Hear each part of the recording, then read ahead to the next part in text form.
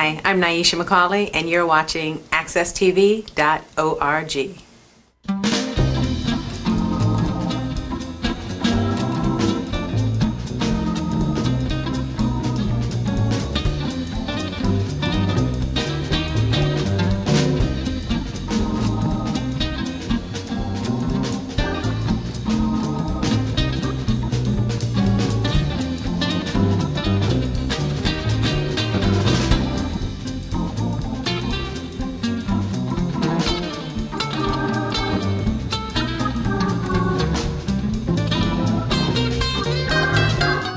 to Conversation, the show that introduces those topics that help you conduct your life in a much better manner and to also concentrate on citizenship.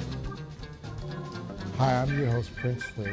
Today's show is on Counsel for the City. Our special guest is Councilman Calixto Torres. Thank you. And our recurring guest, Assistant Chief Deputy Chief of Police Jerry Pleasant.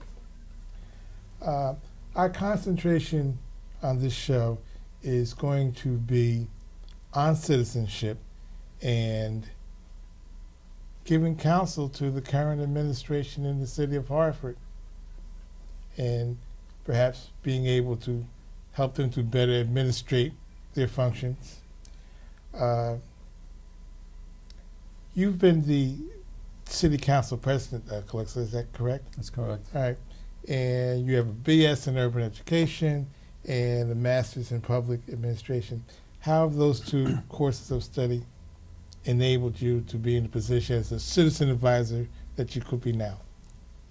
Uh, well, Prince, I think that, um, you know, both our educational system and the city of Hartford's uh, municipal government are the two largest um, uh, taxpayer-funded operations right. um, uh, in our municipality. They basically are uh, uh, the driving forces of our of our budgets.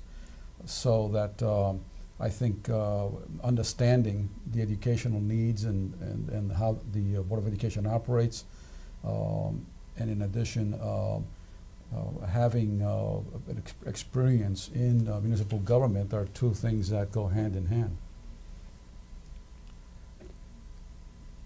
Would you do anything any differently with the educational system if you had that type of influence?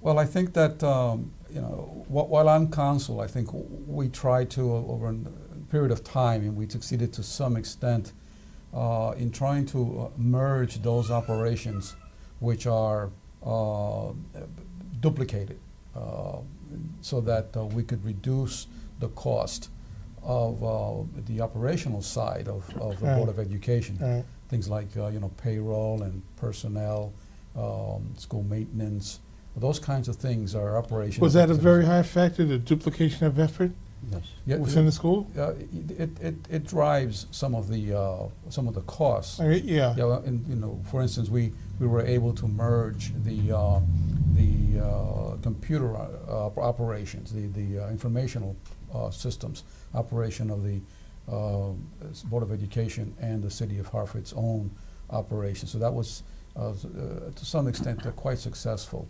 Um, and that's just one area that, uh, that, that you see there could be uh, some efficiencies created. Uh, and so there are there are other uh, efficiencies that, that can be created uh, from from a uh, a uh, management and administrative uh, point of view. Administratively, which is what I'm concerned with the current administration and their skills so far as handling a number of situations, Before- including crime. Yes. Let me uh, interject something here that may be of importance. Um, uh, as far as Mr. Torres' background, he's the only one that has a master's degree in city managership. Well, that's, we'll, we'll get to his management capabilities. Um, you were telling me about the, your association with this international um, City Management Association. City Management Association. Um, what type of things that you gain from that association that could be applicable to the Well, situation? Uh, I was a, uh, I was a member of ICMA for many, many years. Uh-huh. Um, uh, I was, along with that, I was also uh, president, national president of the Hispanic uh, Managers Association, which is an association that uh, uh, uh, Latino t- uh, city, town, and county managers belong to. So I was president of that, and was also the regional vice president of ICMA um, for the Northeast, all of the Northeastern United States Right. uh, uh, membership. Um, uh, I think that uh, you know, it, it, along along with my own professional uh, training, uh, it gave me an understanding of uh, what good um, government is about and, and good administration of government is, is about, um, and, and the separation of the politics from the from, from the actual uh, uh, administration. And I think I, I understood very well uh, the, the uh, separation when we uh, changed in the city of Hartford from a city council management form of government to a strong mayor form of government. And that, Did- that, that, th- those are profound changes. Didn't that, okay, didn't that move necessitate that the mayor had to have more training in the practice of, you know, public administration and management, just formal training as opposed to experience or as a lawyer or It would have been that nice. area? It would have helped. huh? It would have helped. That's good. Well, I, I think that um, under the under a strong mayor form of government, what you know what you have is uh, you, you you shift the the the uh, administrative operational responsibilities from the city manager to a basically a chief operating officer. Right. So, so if you have a if you have a, a, a mayor um, uh, who understands um, uh, the, the the people that he, he or she has to surround themselves with right. in terms of being able to make sure that we have the best possible uh, administrators that can provide the best possible information and expertise to the mayor who has to ultimately make those those decisions, those policy decisions. Um, uh, then we have we, we've got a So winning the team. mayor should have at least some recruiting and delegation skills. But you, you have to have ab- absolutely, and, and, and you know you have to have a, a, a leader, um, whoever it is, uh, who um, obviously comes with has a vision Right. for for the city. Now, you mentioned, uh, almost by definition, the, the, the strong mayor concept, and it, to me, that ties into management styles.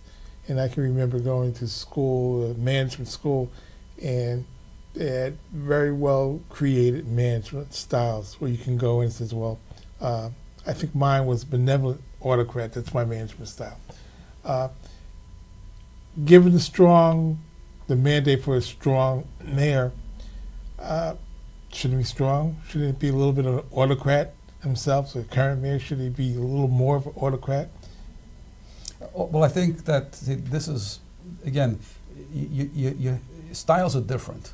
Right. You know, management styles are different. Leadership styles are different. Right. So uh, you could have any any number of different leadership styles.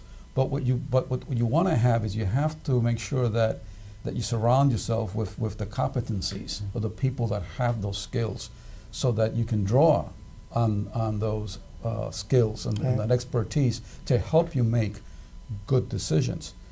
Uh, one of the issues that we have had on, on council is because, especially with the la- you know uh, uh, when we did the shift, right. Was an understanding of council members, I think, that we no longer were a council manager form, manager form of government, Okay. that it was a strong mayor form of government. When you had a council management form of government, the, the decision uh, was driven, the decisions were driven, and the policies were driven by the city council and the city manager. Did that what- create weaker city council, or did they automatically take more of a back seat than they should have taken?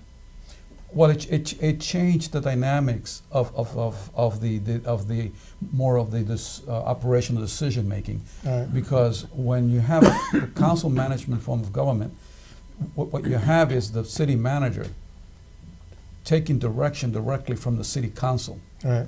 and taking his marching orders or her marching orders Right. from the city council. Um, the mayor is, is uh, uh, in that form of government more symbolic. Um, it doesn't have that authority. Uh, so the city council was, was used to uh, being a lot more involved in the operations of, of the city. Right. When, when we changed that form of government, that shifted. The, the, the, the city council's role then became one more uh, it, it, of, uh, of uh, making sure the budget um, was, a, was, uh, was, was, a, was a good budget, was a correct budget. Uh, and, and through the budget, it kind of sets some policy, some general policies, but it's the mayor who has the lead. So what can the, uh, your today, current city council person do to affect change in the current mayor's style? If he's not strong enough, what can they do? Well, first of all, you know, the, the, the mayor is elected in his or her own right.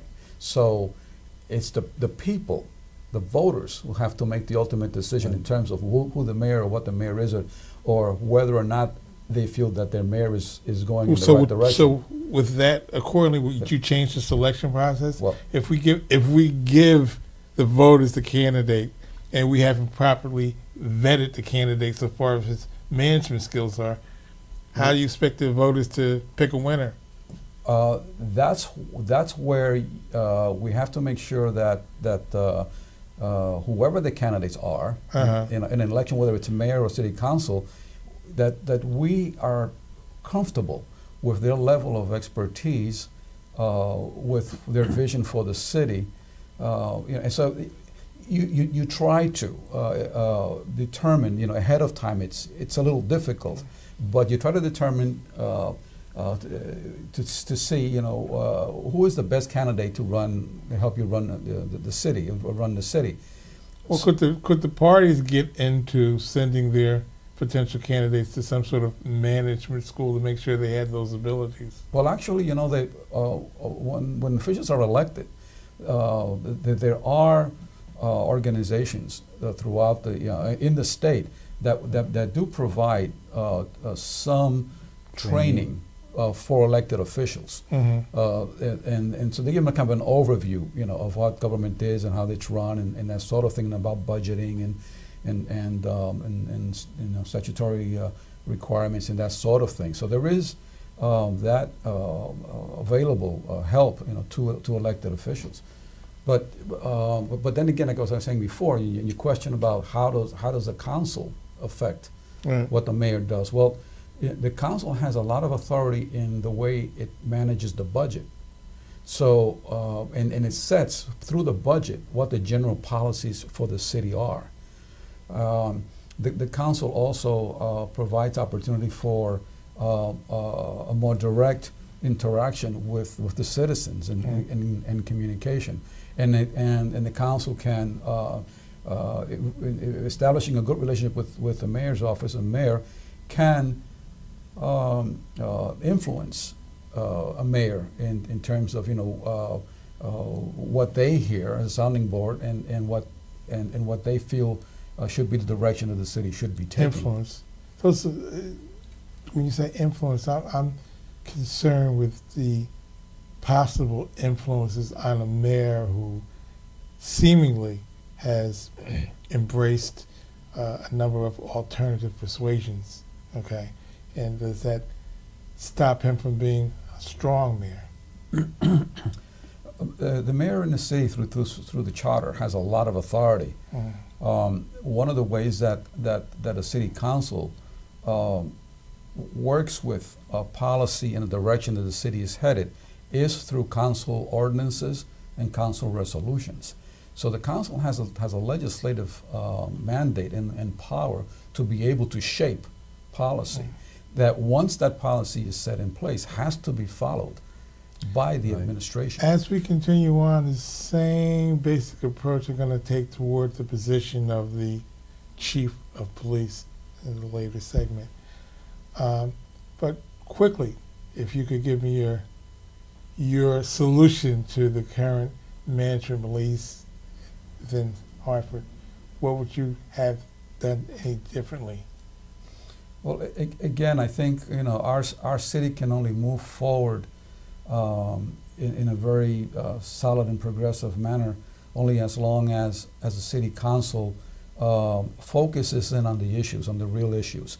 If it becomes too political, Uh-huh. then, then you lose sight, you know, of what the real issue is. And a real issue could be crime, the just explosion of crime and violence. That there has to be a meeting of the minds on, on council, and and uh, the council then, then comes together, has to come together, and and and uh, uh, come up with the resolutions Right. and the ordinances that um, uh, will put uh, the, the city on track, you know, for what it needs to get accomplished.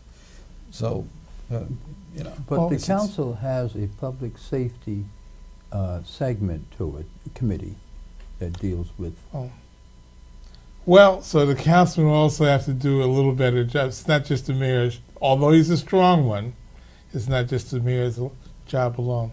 And thank you for giving your views on city management. And we s- ask our viewers to stay tuned for another segment of Conversation.